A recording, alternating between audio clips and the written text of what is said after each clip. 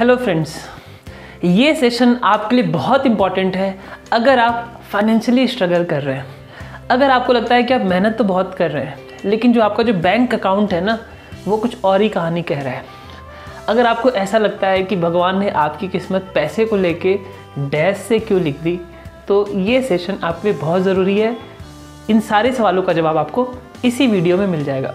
सो hello friends मैं Vivek Rathore author and neuropsychology expert आज का हमारा टॉपिक है कि why you are not making money देखिए फ्रेंड्स इसके लिए हमें समझना होगा कि वो क्या फैक्टर्स हैं जो हमारे मॉनेटरी फेट को डिसाइड करते हैं। तो वो चार फैक्टर्स हैं जो आपके फाइनेंशियल डेस्टनी को मॉनेटरी स्टेट को फाइनेंशियल कंडीशन को डिसाइड करते हैं। The first factor is money and self image आप लाइफ में कितना पैसा बनाने वाले हो, कितना मनी मेकिंग करने वाले हो ये सबसे ज़्यादा डिपेंड करता है आपकी सेल्फ इमेज के ऊपर। सेल्फ इमेज का मतलब आपकी खुद को लेके क्या धारणा है, खुद के बारे में आप क्या सोचते हैं। जैसे हमारे माइंड में हर एक पर्सन को लेके एक इमेज होती है, ठीक उसी तरीके से हमारे माइंड में हम खुद को लेके भी हमारी एक इमेज होती है। तो अगर आपकी सेल्फ इमेज अच्छी है, आप अगर एक हाई सेल्फ इमेज कैरी कर रहे हैं तो पॉसिबिलिटी है कि आप हर फ़ील्ड में सक्सेसफुल होंगे। आप फाइनेंशियली भी स्ट्रांग होंगे, लेकिन अगर आप एक लो सेल्फ इमेज कैरी कर रहे हैं तो आप हर एक फ़ील्ड में स्ट्रगल करेंगे एंड फाइनेंशियली भी स्ट्रगल करेंगे। Second factor is money beliefs ये मनी बिलीव्स क्या होती हैं? देखिए मनी को लेके आपके माइंड में जो भी कोर थिंकिंग है, जो भी, जो अलग अलग सोर्सेज से आती है, कई बार हमारे नॉलेज से आती है, कई बार हमारे एक्सपीरियंस से आती है, कई बार हमने जो सुन लिया उससे आती है। तो मनी को लेके आपकी जो थ्री सबसे इंपॉर्टेंट थिंकिंग है, वो आपके मनी बिलीव्स होते हैं। तो अगर आपकी मनी बिलीफ नेगेटिव है, जैसे अगर आप इस तरह की मनी बिलीफ कैरी कर रहे हैं कि पैसा तो हाथ का मैल है पैसा तो हमें ख़राब कर देता है, पैसा तो बुराई की जड़ है, अगर आप इस तरह की बिलीफ को कैरी कर रहे हैं तो आप कितनी भी मेहनत कर लो आप लाइफ में कभी भी रिच नहीं होंगे। क्योंकि हमारा ब्रेन कभी भी उस चीज़ को अट्रैक्ट नहीं करेगा जिस चीज़ को आप अनकॉन्शियसली हेट करते हैं। तो आपको अपने मनी बिलीफ को समझना होगा, उसको चेंज करना होगा। अब हम बात करेंगे उस थर्ड फैक्टर के बारे में जो हमारी फाइनेंशियल डेस्टिनी को डिसाइड करता है। वो थर्ड फैक्टर है, उसको बोलते हैं फाइनेंशियल थर्मोस्टेट देखिए मनी को लेके ना हम लोग के माइंड में हमेशा एक नंबर चलता है।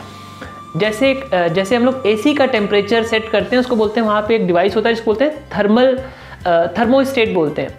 वो टेम्परेचर कमरे का टेम्परेचर डिसाइड करता है। ठीक उसी तरीके से ना हम लोग के माइंड में एक नंबर चलता है, उसको बोलते हैं फाइनेंशियल थर्मोस्टेट आप कभी भी देखना, आप उतने ही अमाउंट का क्लाइंट या जॉब अट्रैक्ट करते हैं, जो अमाउंट आपके माइंड में चल रहा होता है।